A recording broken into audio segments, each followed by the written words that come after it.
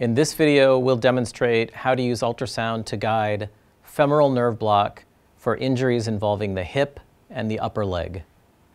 The femoral nerve block can be used in circumstances when anesthesia needs to be supplied to the leg. The most common scenario would be a hip fracture, but could also be used in the setting of a femur fracture.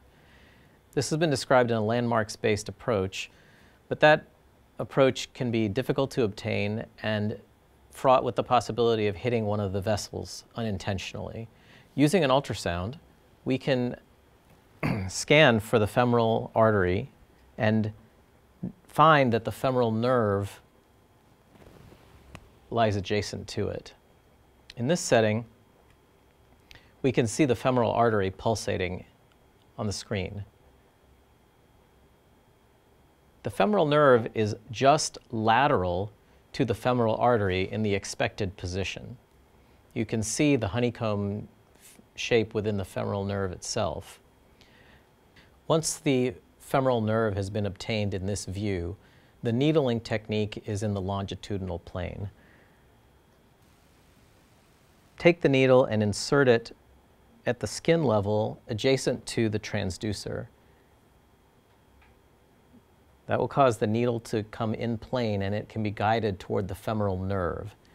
Upon reaching the femoral nerve, instill 20 to 30 cc's of local anesthetic around the femoral nerve, taking care not to come into contact with the vessels. Once that's done, an effective femoral nerve block will anesthetize the region of the femoral nerve.